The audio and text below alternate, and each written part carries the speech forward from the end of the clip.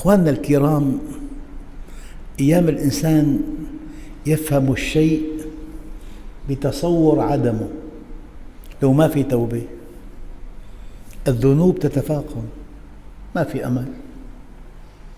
لو ما دام في توبة الذنوب تتلاشى. ما دام في أمل الله يتوب عليك. يعني قل يا عبادي الذين أسرفوا على أنفسهم. لا تقنطوا من رحمة الله. إن الله يغفر الذنوب جميعا. دائما فهم الشيء يكون بتصور خلافه.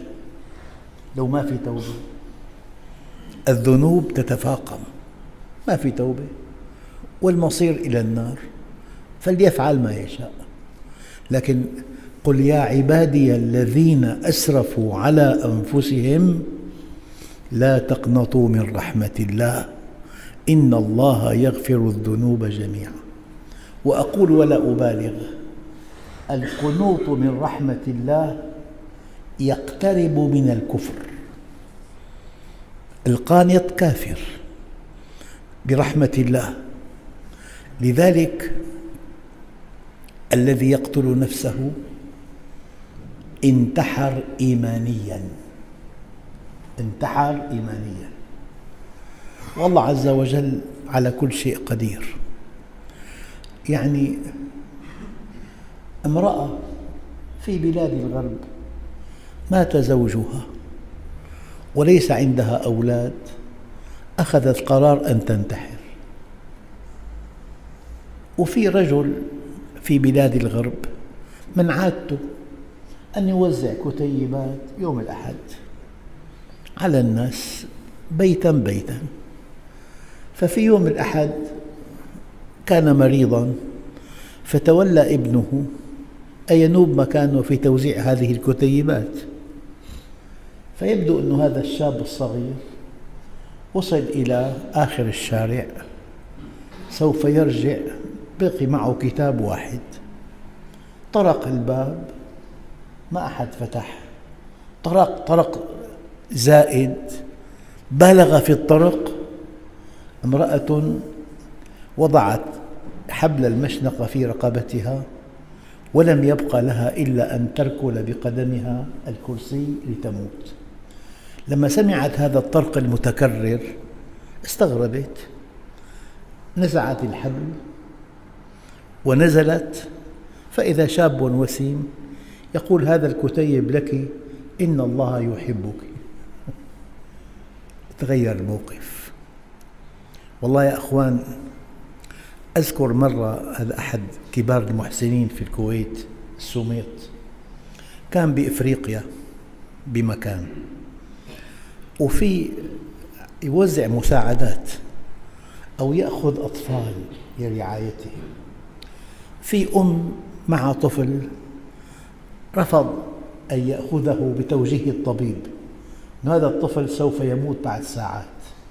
نأخذ واحد في أمل يعيش. فلما رفض ابنها وقعت على الأرض تبكي. فالسميط يقول أنا والله أخذت ابنها تطيبا لخاطرها فقط. هو قرر أن هذا الطفل ميت لكن أخذ ما المطلوب؟ سأل ما المطلوب؟ قال له ثمن قارورة غاز الكاسوز يعني. كل يوم فضرب ثمن القارورة ب 360 دفع للأم المبلغ. قال له إذا مضى سنة وابنك ما شفي تاخذي منه عن سنة قادمة. ومضى على العملية 12 سنة ونسي الموضوع. محسن كبير وب أسلم على يده ملايين. مرة كان بالمكان اللي جاله من 12 سنة طرق بابه قال له في امرأة تريد أن تقابلك. كان مشغول يعني بعد خمس مرات قال له خليها تفوت. دخلت ومعها طفل عمره 11 سنة. هذا سورة البقرة. قالت له هذا الذي أعطيتنا المبلغ لرعايته. ما بتعرف الخير منين بيجي. لا تزهد بعمل صالح. لا تزهد بعمل صالح. كنت مرة بماليزيا. يعني أنا بالفندق بالريسبشن في امرأة وزوجها تريد أن تقابلني. يعني أنا مشغول كثير فبإصرار عجيب. والله نزلت لعندهم قالت لي أنا كنت بالشام من عشرين سنة. وأنا مرضت مرض شديد جدا بيحتاج لعمل جراحي. ما معي ليرة مقابله. فأنت أمنت لي عملية جراحية بأعلى مستوى هدية. وجاي أشكرك فقط. تأثرت تأثر بالغ. البر لا يبلى والذنب لا ينسى والديان لا يموت. اعمل ما شئت كما تدين تدان إياك ثم إياك ثم إياك أن تزهد بعمل صالح. لأن العمل الصالح علة وجودك في الدنيا. الدليل رب ارجعوني لعلي أعمل صالحا. سبب وجودك الوحيد في الدنيا الوحيد العمل الصالح. يعني إذا أبعدت ابنك لباريس لينال دكتوراه من السوربون. باريس مدينة عملاقة كبيرة فيها مطاعم فيها مقاهي فيها دور سينما فيها دور له فيها مكتبات فيها جامعات فيها أسواق فيها فيها فيها. ابنك بباريس علة وجوده الوحيدة. الوحيدة الدراسة وأنا أقول لكم أعني ما أقوله القرآن بين أيديكم. علة وجودنا الوحيدة في الدنيا الوحيدة العمل الصالح. لما سمي صالحا؟ قال لأنه يصلح للعرض على الله. يصلح للعرض على الله. ومتى يصلح العمل الصالح أن يكون عملا صالحا؟ قال بشروط. أن يكون خالصا وصوابا. خالصا ما ابتغي به وجه الله. وصوابا ما وافق السنة. يعني ما بدي من الأخ الكريم المؤمن. يعني إذا واحد كلفه من حين لآخر بعمل صالح ينفذه لا. الأمر أكبر من هذا بكثير. كلما استيقظت حتى بدعاء الفجر هب لنا عملا صالحا يقربنا إليك. بده يدخل العمل الصالح ببرنامجك اليومي. كيف نحن عندنا ثلاث وجبات طعام كل يوم؟ شيء طبيعي. إن حكى أو ما حكى إن طلب أو ما طلب عندك ثلاث وجبات كل يوم. العمل الصالح الوجبة اليومية التي هي علة وجودك في الدنيا. علة وجودك في الدنيا. فيا أخوان أنت بالعمل الصالح تربح هذا اليوم. ومن دون عمل صالح تخسر هذا اليوم. والخسارة كبيرة. والخسارة مؤلمة. يعني مثل بسيط. أنت على مكتبك في قطعة ورق مستطيلة. توهمتها ورقة لا قيمة لها. مزقتها. شر ممزق. وألقيتها في المهملات. ثم اكتشفت أن هذا شيك بمليون دينار لم تنتبه له ما الذي يصيبك؟ إن العار ليأخذ الإنسان يوم القيامة حتى يقول يا رب لإرسالك بي إلى النار أهون علي مما ألقى ماذا يلقى؟ ألم الندم الندم فلذلك حجمك عند الله كلمة دقيقة. حجمك عند الله بحجم عملك الصالح. الدليل ولكل درجات مما عملوا. ومتى يصلح هذا العمل؟ بشرطين. إذا كان خالصا وصوابا. خالصا ما ابتغي به وجه الله وصوابا ما وافق السنة. إذا في هذا اليوم قانون التوبة. قل يا عبادي الذين أسرفوا على أنفسهم لا تقنطوا من رحمة الله. إن الله يغفر الذنوب جميعا. إذا تاب العبد توبة نصوحة أنسى الله حافظيه. والملائكة وبقاع الأرض كلها خطاياه وذنوبه. هذه التوبة. لذلك قالوا القنوط يناقض الإيمان. القنوط من رحمة الله هو الكفر. أو بأدق من ذلك يقترب من الكفر. القنوط من رحمة الله يقترب من الكفر أما التوبة لها شروط. أول شرط أن تندم على ما فات. الندم توبة. يجب أن تندم. كيف ضيعت هذا الوقت؟ كيف تأخرت في التوبة؟ الندم على ما فات. والإقلاع عن الذنب فورا. والإصلاح. الإقلاع والإصلاح. ما الإصلاح؟ عليك دين سدد الدين.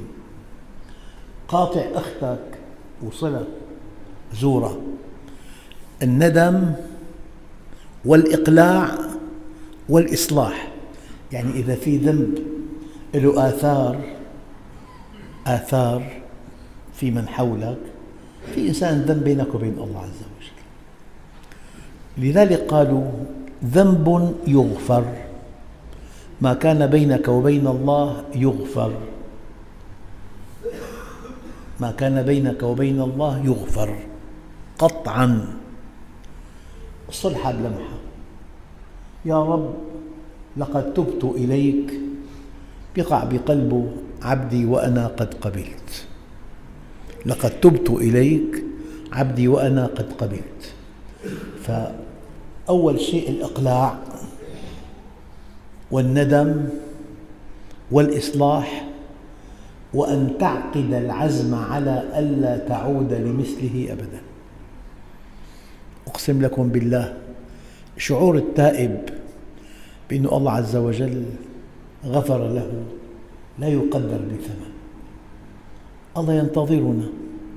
وعزتي وجلالي لا أقبض عبدي المؤمن وأنا أحب أن أرحمه إلا ابتليته بكل سيئة كان عملها سقما في جسده أو إقتارا في رزقه أو مصيبة في ماله أو ولده حتى أبلغ منه مثل الذر فإذا بقي عليه شيء شددت عليه سكرات الموت حتى يلقاني كيوم ولدته أمه.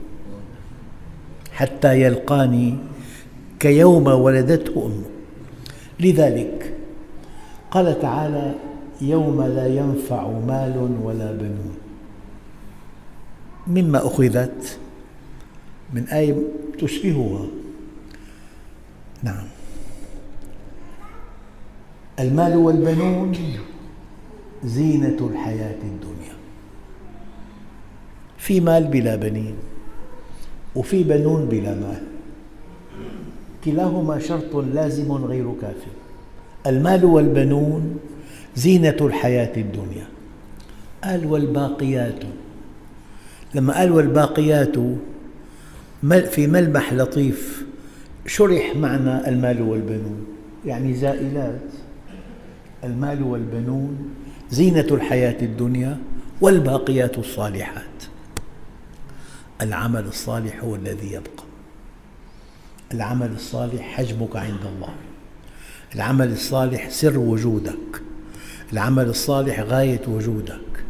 العمل الصالح يقبل إذا كان صوابا وخالصا. خالصا ما ابتغي به وجه الله وصوابا ما وافق السنة. لذلك قالوا ذنب يغفر قطعا ما كان بينك وبين الله. وذنب لا يغفر عفوا وذنب لا يترك ما كان بينك وبين العباد.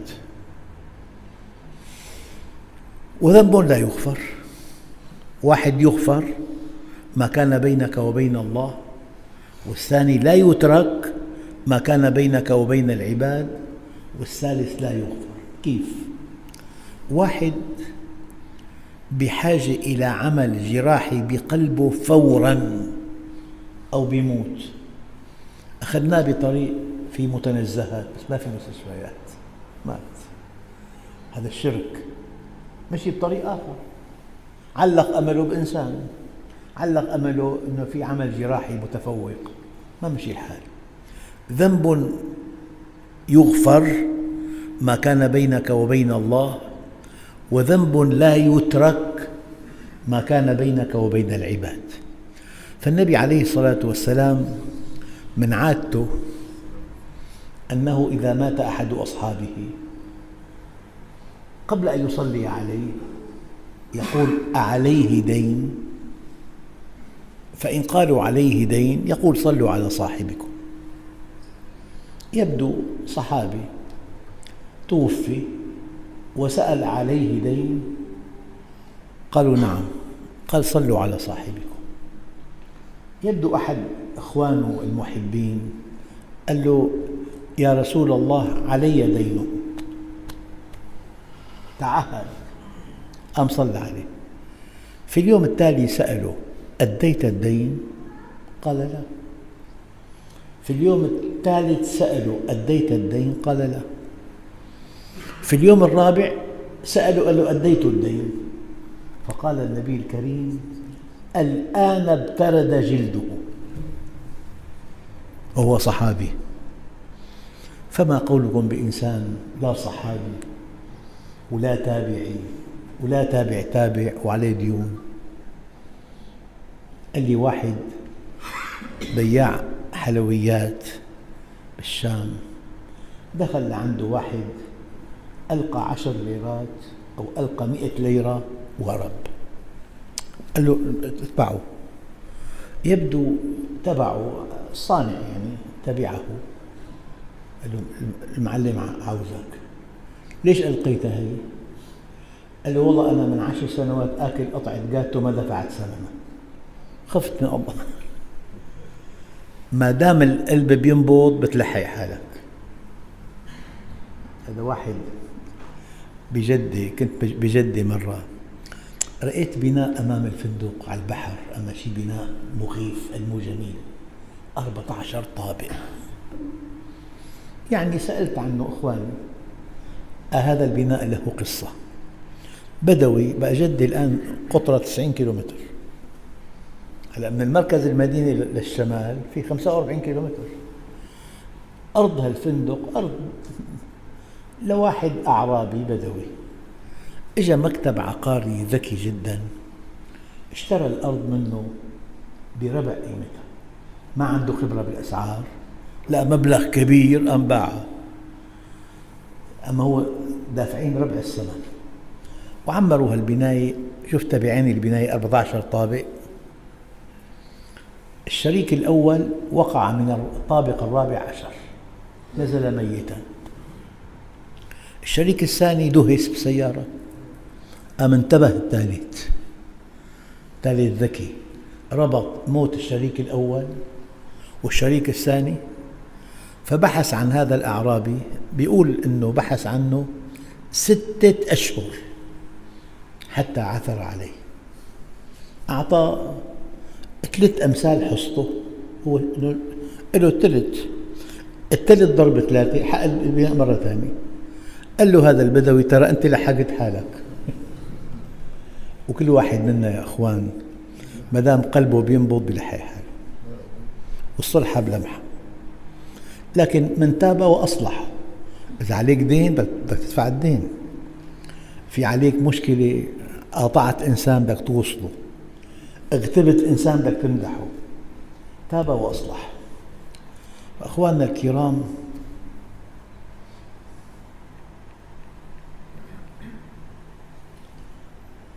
ذنب يغفر ما كان بينك وبين الله وذنب لا يترك إلا بإحدى شيئين الأداء أو المسامحة. وذنب لا يغفر وهو الشرك.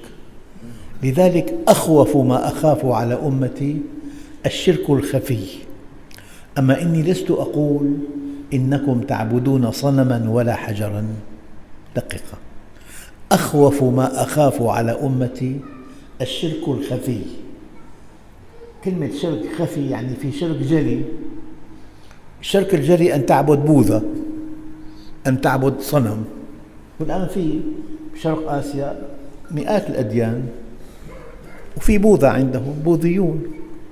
هذا الشرك الجلي. أنا أقول من فضل الله ما في بحياة المسلمين شرك جلي إطلاقا. بس شوفي شرك خفي. أخوف ما أخاف على أمتي. الشرك الخفي. أما إني لست أقول إنكم تعبدون صنما ولا حجرا ولكن شهوة خفية وأعمال لغير الله. شهوة خفية أعمال لغير الله هذا شرك خفي. لكن قال لي واحد يا أستاذ بنسمع درسك بنتأثر كثير نروح على البيت. مثل ما كنا سابقا عادي. شو القصة هي؟ قلت له واضحة جدا. أنت بحاجة إلى حاضنة إيمانية. شو معنى حاضنة إيمانية؟ بدك رفيق مؤمن. بدك سهرة مع مؤمنين. بدك نزهة مع مؤمنين. قوموا لنصلي بدك حاضنة إيمانية. شو دليلها؟ يا أيها الذين آمنوا اتقوا الله وكونوا مع الصادقين. كن مع الصادقين. اتقوا الله وكونوا مع الصادقين والصاحب ساحب. ودائما احفظ هذه القاعدة. القاعدة أساسها لعبة شد الحبل. مجموعة أنت معهم إن شدوك إلى ترك الصلاة أو شدوك إلى متابعة فيلم لا يرضي الله دعهم فورا. وإن استطعت أن تشدهم إليك ابق معهم. ضابط العملية لعبة شد الحبل. شدوك لهون اتركهم. أعرف شخص من حلب مدمن خمر. ذهب إلى الحج وتاب توبة نصوحة. فرجع. ما ترك هؤلاء بقي معهم هن ما فيهم دين أبدا. وأغنياء. فجاء جيء بالخمر قاعد معهم هو. أنا أعوذ بالله أنا تائب قديش كلفت حجتك؟ وقتها كان خمسين ألف. كان دولار ثلاث ليرات سورية. خمسين ألف. قالوا لي خمسين ألف؟ شاب شرب ومات بعد 12 يوم. مات شارب خمر. الصاحب ساحب. لا تصاحب. من لا ينهض بك إلى الله حاله ويدلك على الله مقاله. اوعك تصاحبه لقيت حالك معهم قصرت بصلاتك قصرت بغض بصرك قصرت بعباداتك اتركهم فورا. أما قدرت تجر اللي عندك خليك معهم الضابط لعبة شد الحبل. شديتهم إلى خليك شدوك كلهم لذلك يا أيها الذين آمنوا اتقوا الله وكونوا مع الصادقين. بدك حاضنة إيمانية. كونوا مع الصادقين. والشيء الثاني نفسك إن لم تشغلها بالخير شغلتك بالشر. تقعد بلا شغل بدك شوف شي فيلم. يمكن فيلم غير لائق أن تراه أنت. يعني الصاحب ساحب بدك حاضنة إيمانية بدك صديق مؤمن رفيق مؤمن سيران مع مؤمنين سهرة مع مؤمنين نزهة مع مؤمنين.